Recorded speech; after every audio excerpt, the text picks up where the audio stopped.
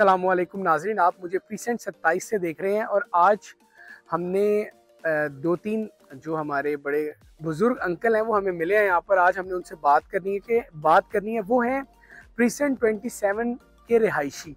कुछ लोग विलाज में रहते होंगे, कुछ प्राइवेट कंस्ट्रक्टेड विलाज अपने बनाकर रह रहे हैं तो उनसे बात करते हैं और उन्हीं की ज़बानी सुनते हैं कि बैरिया टाउन में उनको मसाइल हैं तो क्या हैं कैसी लाइफ उनकी गुजर रही है? जरा चलें इनकी तरफ़ आ जाए जी।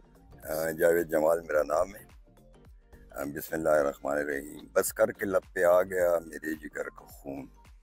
कुछ लोग आगे पी गए मेरे नगर का खून।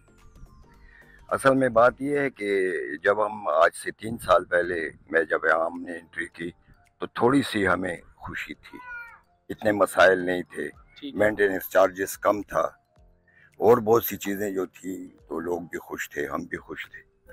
लेकिन अब लोगों में ये वो पैदा हो गया है कि जिस ज़मीन पे हम जा रहे हैं ये हमारी ज़मीन भी है कि नहीं है। ऐसी क्या बात हो गई? मायूसी फैल गई। एक तो मलिक रियाज के जाने की वजह से बहुत से क्राइसिस आ गए सर मलिक साहब पे जितनी मुश्किल और जो दबाव है वो किसी से ढका छुपा है नहीं। आप तो हम लोग जानते हैं। अब मैं आपको नेचुरली वो कह रहा हूँ मैं मैं एक फ़ंक्शन में गया जहाँ जावेद शेख और सब्जवारी में वो चीफ गेस्ट थे। कैलिफ़ोर्निया सिटी में तो वहाँ पे लोग ताड़ी नहीं बजा रहे थे। लोगों में इतनी मायूसी फैल गई। आप जिस ग्राउंड की बात कर रहे हैं ना ये ग्राउंड भरा हुआ था। अब इसमें से आधे घर खाली हो गए। खाली होने की वजह क्या घर? वजह ये है कि अब एक बंदा जब जाता है कराची तो तीन चार हज़ार का तो उसका पेट्रोल लगता है। पहले वन सिक्सटी का था अब तो तीन सौ हाँ तो वो एक तो वो बोरानी कैफियत हो गई। एक जो बैरियर की अपनी जो वो है ना पॉलिसीज़ वो बहुत गलत है या सालाना है या दो साल बाद है दो टेन परसेंट आप बढ़ा सकते हैं। ठीक है। अब अगर मैं साढ़े तीन सौ रुपए देता हूँ मेंटेनेंस साढ़े तीन हज़ार मेंटेनेंस चार्जेस दे रहा हूँ और एक एकदम वो आठ हज़ार में चला जाए तो ये तो गलत है। फिर वाटर कप भी वो पता अभी हमने दो इसी थोड़े दो दो घंटों के लिए लगा है और यहाँ हमारे तीन घर हम दो इधर है और एक थर्टी फाइव में। तो अभी हमें साठ हज़ार का बिल मिला है। अच्छा दूसरी वजह यह है यहाँ जिनके घर है उनको बहुत नुकसान है। क्या नुकसान है उनको? पहला नुकसान तो ये है कि जो घर दो करोड़ का यहाँ बिक रहा था वो वन सिक्सटी पे आ गया वन फिफ्टी पे आ गया। अंकल जी अच्छा, जमाल साहब? आपको बताता हूँ। दूसरी उसको जो नुकसान हुआ है तो जब वो यहाँ पे वो कैफियत शुरू हो जाते हैं बैरियर जब वो चीज़ें बढ़ाती हैं तो उसका प्रेशर मालिक पे आ जाता है। वो अपनी कीमतें घर की कम कर देता है। देखिए अब मैं दे रहा था फोर्टी टू अब मैं थर्टी दे रहा हूँ। तो इसमें ये रेंट, तो, कम हो रेंट भी कम हो गए। दूसरी उसकी जो लोग मायूस हो गए बहुत से लोग अब बेच भी रहे हैं। मैं अर्ज़ करूँ कुछ? हाँ करो, देखिए फ्यूल बढ़ने से बैरिया टाउन का कोई ताल्लुक नहीं है। आपका पॉइंट बड़ा वैलिड है कि अब फ्यूल महँगा है हाँ। जिसकी वजह से लोगों को कॉस्ट ज़्यादा लगती है अंकल जी। लेकिन बैरिया मैं देखिए मैं एक प्रॉपर्टी का काम करने वाला हूँ। आपकी राय ऐसे ही बयान होगी जैसी आप तीनों साहिबान ने कही है। बैरिया टाउन जैसी सोसाइटी कोई नहीं है कराची में पूरे पाकिस्तान में नहीं है।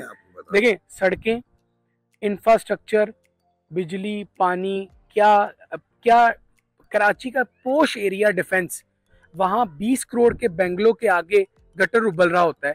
अंकल जी बैरिया टाउन में तो नहीं है। मैं इसके जवाब देता हूँ आपको। मैं न्यूयॉर्क में रहा हूँ बॉस्टन में रहा हूँ। अगर वहाँ के अंग्रेज़ आ जाए ना तो वो भी देखेंगे कि इतनी खूबसूरत जगह है। इसकी मिसाल आप मुझे ना दें। अगर यूरोप वाले लोग आ जाए ना तो वो भी कहेंगे कि बड़ी खूबसूरत जगह है। है। और ये मैं आपको कह के देता हूँ मसला क्या है? बैरिया से खूबसूरत जगह नहीं है लोगों में मायूसी फैल गई है ना। आप अगर लोगों पे बोझ डालते हैं तो मायूसी फैल गई है ना। अब मेरे प्लाट है। मैंने छियासी लाख रुपए नुकसान किया है। मतलब पाँच के पाँच प्लाट मैंने बेच दिए।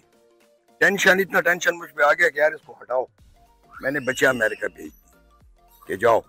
असल में ये है कि अगर हम चापलूसी करना शुरू कर दें और इसकी वो बनाना शुरू कर दें कि ये है वो देखिए अब बड़ा एक बड़ी अच्छी चीज़ जो वाजे हो गई है मलिक रियाज को मैं दाद देता हूँ कि उसने जो पच्चीस सहाफ़ियों को बता दिया कि इतने इतने पैसे मुझसे खाए हुए हैं इन लोगों ने। अंकल वो तो मलिक साहब ने कहा है मलिक साहब हमारे बंदे ने मुझे लूटा है। बिल्कुल आप सही कह रहे हैं मलिक साहब ने खुद ट्वीट जो हाँ, किया है। अब दूसरी वजह इसमें यह है कि जिस आदमी की तीन लाख रुपए आमदन नहीं है वो बैरियर टाउन में नहीं रह सकता। अच्छा दूसरी वजह यह है कि यहाँ पे अब ये सिस्टम हो गया दो तीन साल में कि मिडिल क्लास खत्म हो गया। अब दो तबके रहे मलिक साहब ने तो नहीं खत्म किया। या मलिक- पूरे निज़ाम ने कर दिया। सर देखिए पूरे निज़ाम निज़ाम का पूरे निज़ाम की बुराई आप बैरिया टाउन में कैसे डाल सकते हैं? यानी अंकल जी आप एक तरफ़ बैरिया की मैं- मैं मलिक रियाज का नहीं कह रहा हूँ। इसमें बहुत सी चीज़ें इसमें एस्टेब्लिशमेंट भी इन्वॉल्व है इसमें हमारी गवर्नमेंट भी इन्वॉल्व है बहुत से लोग इन्वॉल्व ये एक मलक का काम तो नहीं है ना। मलक ने ये बात की है बड़ी अच्छी बात की है कि जो डीएचए की आप जो प्राइस ले रहे हैं आपको बैरिया की भी ले। बैरिया की भी वो ले। ये सारी चीज़ें मैं इसलिए आपको बता रहा हूँ कि देखिए अ, हमने उठा लिया है गमे कायनात का लेकिन उठा सके न किसी आदमी की बात। सबसे बड़ी बात ये ना कि हम किसी की बात हम तो करते हैं लेकिन जब वो है तो उसको बुरा लगता है। आप सही कह रहे हैं। अच्छा। हम, हमें बुरा नहीं लगना चाहिए। अगर हम ऐसी चापलूसी देखिए इजहार राय ज़रूर हाँ, करनी चाहिए। अंकल ये बताएँ कि अब चूँकि कीमतें कम है दो करोड़ दो करोड़ बीस लाख वाला विला एक साठ में आ गया है। इस साइड की अगर मैं बात करूँ ये बड़ा आइडियल टाइम है तो आप पैगाम क्या देंगे कि इस वक्त बाइंग कर लेनी चाहिए? मतलब ये है कि इस टाइम बेचना नहीं चाहिए।